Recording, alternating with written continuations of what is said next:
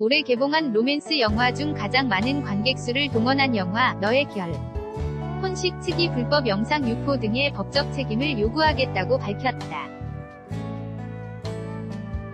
너의 결혼식 감독 이석근의 제작사 필름K는 28일 공식 입장을 내어 너의 결혼식 이 27일 IPTV 및 VOD 부가 서비스를 시작한 가운데 해당 영화 영상이 SNS와 불법 다운로드 사이트에서 불법적으로 유통되고 있다. 고 밝혔다. 필름K는 합법적인 경로를 통하지 않고 영화 너의 결혼식 본편 영상을 게시, 배포, 유통, 공유 및 다운로드하는 모든 행위는 저작권을 심각하게 침해하는 불법 행위라고 강조했다. 이어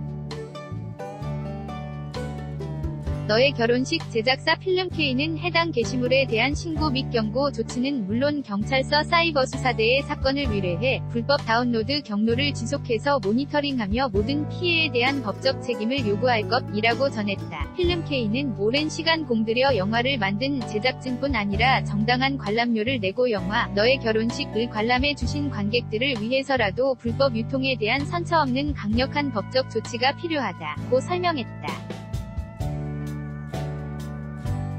지난달 22일 개봉한 너의 결혼식 은 3초의 운명을 믿는 승희, 박보영 분과 승희만을 운명으로 믿는 우연, 김영광 분 두 사람이 만들어가는 공감 100% 리얼 첫사랑 연대기를 그렸다. 영화진흥위원회 영화관 입장권 통합 전산망에 따르면 너의 결혼식은 누적 관객수 281만 5,899명을 기록해 지금 만나러 갑니다의 누적 관객수 260만 2,273명을 뛰어넘어 올해 개봉한 영화 중 최고의 로맨스 흥행작이 됐다.